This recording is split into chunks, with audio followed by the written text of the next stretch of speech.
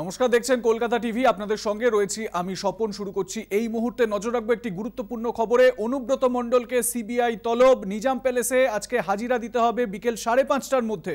আপনারা জানেন, অনুব্রত মণ্ডল বীরভূম জেলা তৃণমূল কংগ্রেস সভাপতি। তিনি গতকালই হাসপাতাল থেকে ছাড়া পান। অসুস্থতাজনিত কারণে তিনি এসএসকেম হাসপাতালের উডবান ওয়ার্ডে ভর্তি ছিলেন। গতকালই হাসপাতাল থেকে ছাড়া পান এবং আজকেই তাকে নিজাম প্যালেসে হাজিরা দিতে হবে, এমনটাই জানতে পারা যাচ্ছে। বিকেল সাড়ে পাঁচটার মধ্যে তাকে হাজিরা দিতে হবে। তলব সিবিআই এর রিয়া মাঝি আমাদের প্রতিনিধি রয়েছেন। আমরা যোগাযোগ করার চেষ্টা করছি রিয়ার সঙ্গে। এর আগেও আপনারা জানেন যে এর আগে ছ তারিখ যখন অনুব্রত মণ্ডলকে হাজিরার নির্দেশ দেওয়া হয়েছিল এবং সেই সময় তিনি বাড়ি থেকে বেরিয়েও চিনার চিনার পার্কে নিজের বাড়ি থেকে বেরিয়েও তিনি হাসপাতালের উদ্দেশ্যে চলে যান, সেই সময়ও তিনি হাজিরা এড়িয়ে গিয়েছিলেন, অসুস্থতাজনিত কারণেই হাজিরা এড়িয়েছিলেন। রিয়া মাঝি রয়েছেন টেলিফোনে কথা বলব, তার সঙ্গে রিয়া, কি আপডেট রয়েছে? মন্ডলকে রাতেই এসএসএম থেকে ছাড়া হয়েছে। এবং তাকে পুরোপুরি ভাবে বেড রেস্ট দেওয়া হয়েছে। কিন্তু আজকেই যেটা দেখা গেল সিবিআই দপ্তর থেকে একটি নোটিশ পাঠানো হলো অনুব্রত মন্ডলকে এবং যেখানে বলা হলো যে অনুব্রত মন্ডলকে আজই তাকে হাজিরা দিতে হবে এবং গরু পাচার কাণ্ডেই কিন্তু তাকে হাজিরা দেওয়ার নির্দেশ দিল এবং আজকে সাড়ে পাঁচটার মধ্যেই কিন্তু তাকে তাকে হাজিরা দিতে হবে নিজাম প্যালেসে এবং আরও একবার তোমাকে জানিয়ে রাখব যে অনুব্রত মন্ডল গতকাল রাতেই আমরা তাকে দেখলাম যে এসএসকেএম থেকে সাড়ে আটটা নাগাদ তিনি ছাড়া পান এবং তার রাজা নিউ টাউনের যে বাড়ি, সেখানে বাড়ির উদ্দেশ্যে তিনি বেরিয়ে যায়, তার কনভয়ে বেরিয়ে যান এবং মা ফ্লাইওভারে সেই কনভয়ে দুর্ঘটনাও হয়।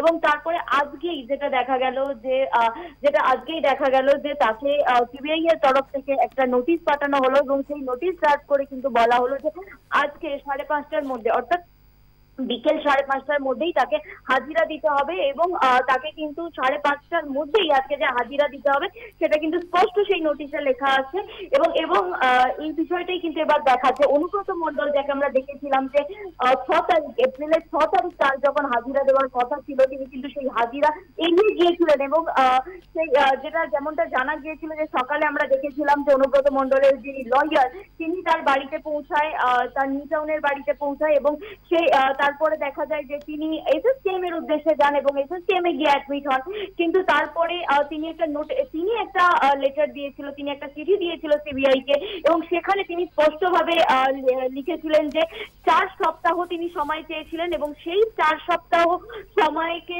তিনি বলেছিলেন যে তিনি যেহেতু শারীরিকভাবে একদমই সুস্থ নন তিনি এসএসকেএম এ রয়েছেন তিনি অ্যাডমিট রয়েছেন হসপিটালে সেই কারণের জন্য চার সপ্তাহ সময় হ্যাঁ। চেয়ে নিয়েছিলেন এবং সেই চার সপ্তাহ পর সিবিআই কে কোঅপারেট করবে এমনটাও কিন্তু তিনি লিখেছিলেন এবং তাও লিখেছিলেন যে সিবিআই যদি চায় তাহলে কিন্তু যেতে পারে। অর্থাৎ বেশ। এসএসকেএম এ গিয়ে তাকে জিজ্ঞাসাবাদ করতে পারে। তবে যদি ডাক্তার পারমিশন দেয় তো তবে। কিন্তু সেক্ষেত্রে সিবিআই কিন্তু কোনো রকম স্টেপ নেয়নি। কিন্তু আবারও যেটা দেখা যাচ্ছে যে সেই যে এবার যে অনুব্রত মন্ডলকে আমরা দেখেছিলাম যে তিনি সময় চেয়েছিলেন এবং তিনি লেটারে উল্লেখ করেছিলেন যে তিনি আহ, সহযোগিতা করবেন সিবিআই এর সঙ্গে। এবার এবার দেখা যাচ্ছে যে গতকাল তিনি ছাড়া একেবারে এবার দেখা যে তিনি এবারে হাজিরা দেন নাকি তার পরবর্তী পদক্ষেপ কি হয় সেদিকে আমাদের নজর থাকবে। অবশ্যই আপাতত ধন্যবাদ তোমাকে রিয়া। রিয়া মাঝি আমাদের সঙ্গে ছিলেন টেলিফোনে।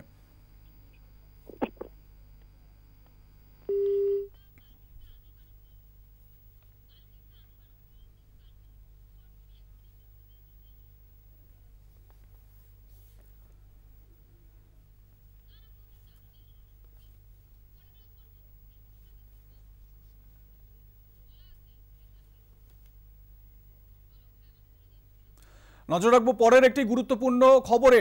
আলাপন মামলায় এবার দিল্লি হাইকোর্টের নোটিশ কেন্দ্রকে আপনারা জানেন যে গতকালই আলাপন বন্দ্যোপাধ্যায় রিভিউ চেয়ে আবেদন করেছিলেন এবং তার পরিপ্রেক্ষিতেই দিল্লি হাইকোর্টের এই নোটিশ কেন্দ্রকে পরবর্তী শুনানি রয়েছে। বিশে মে মামলার পরবর্তী শুনানি, আলাপন মামলায় দিল্লি হাইকোর্টের নোটিশ কেন্দ্রকে আলাপনের রিভিউয়ের আবেদনের ভিত্তিতেই কেন্দ্রকে নোটিশ দিল্লি হাইকোর্টের ডিভিশন বেঞ্চের। আলাপন মামলায় দিল্লি হাইকোর্টের নোটিশ কেন্দ্রকে উল্লেখ্য, আলাপন বন্দ্যোপাধ্যায়ের যে রিভিউ আবেদন, সেই আবেদনের পরিপ্রেক্ষিতেই এই নোটিশ কেন্দ্রকে দেওয়া হয়েছে। আলাপন মামলায় দিল্লি হাইকোর্টের নোটিশ কেন্দ্রকে আগামী বিশে মে এই মামলার পরবর্তী শুনানি রয়েছে এবং বিশে মে কেন্দ্রের তরফ থেকে কি জানানো হয়, কেন্দ্রের তরফ থেকে কি বক্তব্য রাখা হয় সে বিষয়ে নজর থাকবে। শুক্রবার রিভিউ চেয়ে দিল্লি হাইকোর্টে আলাপনের আবেদন, অর্থাৎ আলাপন বন্দ্যোপাধ্যায় আবেদন করেছিলেন এবং সেই পরিপ্রেক্ষিতেই কেন্দ্রকে নোটিশ দিল্লি হাইকোর্টের আগামী বিশে মে মামলার পরবর্তী শুনানি।